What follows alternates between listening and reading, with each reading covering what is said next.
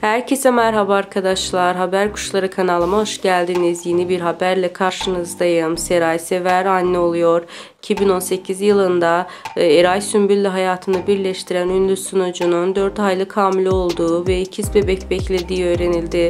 Bebeklerini kucağına almak için gün sayan çiftimizin nazardan korunmak amacıyla ilk 3 ay mutlu haberi herkesten gizlemiş.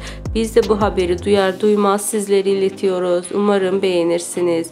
Emeğe saygı olarak videolarımı beğenip ve kanalıma abone olursanız çok sevinirim. Bildirimi her daim açık bırakın ki videolarımı ilk önce siz görün.